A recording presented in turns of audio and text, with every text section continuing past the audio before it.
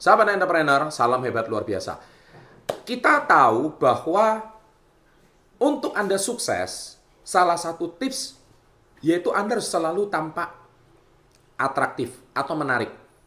Kita tidak bisa pungkiri bahwa tampil menarik itu menjadi salah satu uh, first impression atau kesan pertama yang sangat baik bagi seseorang untuk menjalin kerjasama. Nah, sekarang saya akan berikan tiga tips Tiga cara untuk menjadi orang yang sangat menarik. Apa saja selain satu ini?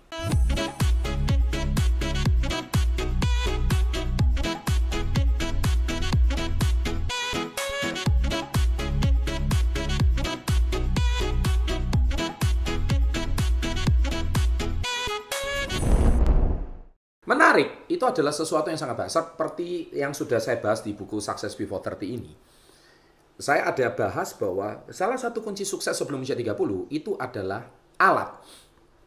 Ya, alat ya. Anda lihat di sini ya, mindset, alat dan mentor. Nah, alat itu tidak terkecuali yang namanya komunitas. Kalau Anda setelah punya mindset yang bagus, contoh, Anda itu kalau hari ini mau maju, tapi kalau alatnya keliru, nggak bisa. Apa maksudnya alat, Pak? Alat itu ibaratkan gini. Anda hari ini bekerja seumur hidup, Ya, kemarin ada yang DM saya, Pak, saya udah kerja 40 tahun, tapi kok hidup saya gini-gini aja. Ya, berarti salah di alatnya. Ya, ada juga orang yang sudah bekerja puluhan tahun tapi hidupnya ya pokoknya cukup makan, cukup tidur aja. Kekurangan sih enggak. Ya, itu berarti keliru di alatnya. Nah, orang yang sukses mereka tuh pasti menemukan alat yang tepat. Boleh dikatakan kendaraan yang tepat. Ya, sebagai salah satu contoh, kalau saya punya komunitas Yes Ya, komunitas Yes itu sebuah tempat untuk Anda e, bisa mengubah nasib Anda. Memang ini bisnis ya. Jadi e, kami nggak menjanjikan kesuksesan dalam waktu cepat, tapi dalam waktu e, 2 sampai 5 tahun Anda kalau memang tekuni pasti bisa mengubah nasib Anda. Nah, salah satu tips untuk Anda bisa tampil menarik itu nomor satu adalah menambah pengetahuan. Kita nggak bisa pungkiri bahwa ketika uh, Anda ngobrol seseorang sama seseorang, tingkat intelektualitas seseorang itu sangat ditentukan dari wawasannya. Jadi kalau diajak ngomong sepak bola nyambung, diajak ngomong forex nyambung, diajak ngomong uh, dunia finansial nyambung, diajak ngomong mobil nyambung, diajak ngomong gaun wanita nyambung. Berarti Anda itu wawasannya banyak. Nah, berarti Anda itu harus punya knowledge yang sangat bagus. Jadi rajin baca, rajin cari info itu menambah ketertarikan orang terhadap kesan Anda pertama kali. Jadi bicara soal orang tua nyambung, bicara soal anak nyambung. Jadi nggak ngertinya cuman satu bidang aja. Nah yang kedua, open minded. Open minded itu menarik. Jadi artinya gini, orang yang sudah dikit-dikit bilang pokoknya, nah itu ter, orang yang sudah close mind. Dan itu sangat menentukan tingkat kapasitas atau intelektualitas orang itu yang sangat rendah. Dia cuma mau dimengerti. Pokoknya, pokoknya, pokoknya. Jadi kalau sudah bicara pokoknya itu berarti dia sudah merasa dirinya paling benar. Nah, dan yang paling parah adalah kalau sampai detik terakhir dia itu sudah nggak bisa berdebat apa-apa. Dia cuma bilang pokoknya. Nah, itu repot. Makanya orang yang seperti itu sudah pasti tidak menarik dan tidak open minded. Cuman bicaranya ngertinya cuma satu sisi doang, nggak ngerti bicara dari banyak sisi. Itu yang open minded. Yang ketiga, menjadi diri sendiri tanpa kepalsuan. Nah ini yang tidak mudah di zaman sekarang, apalagi di zaman sosmed ya. Zaman sosmed itu zaman eranya orang menampilkan sesuatu yang kadang-kadang tidak asli gitu atau fake.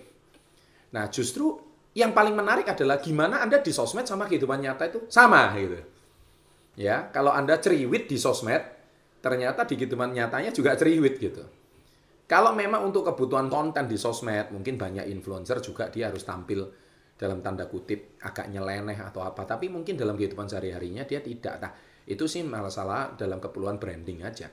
Tapi yang paling menarik adalah Anda sama dunia nyata tidak jauh berbeda.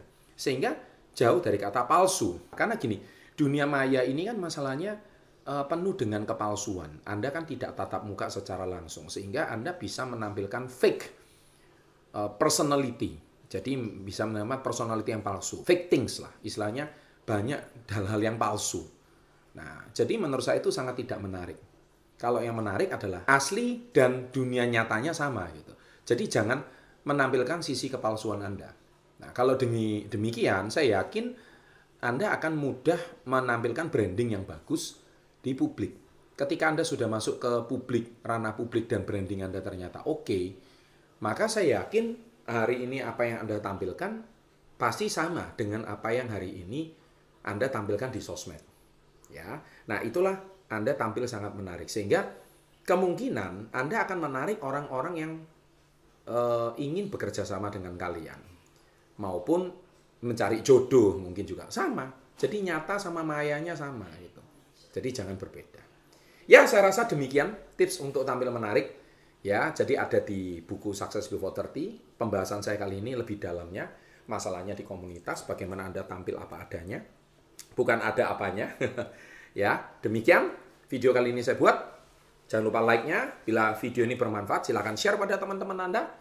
Dan sekarang di community Success Before 30, itu saya juga ada polling. Ya, kalau bisa Anda ikut polling di sana, supaya Anda bisa ikut interaktif dengan channel kami. Sukses selalu dan salam hebat luar biasa.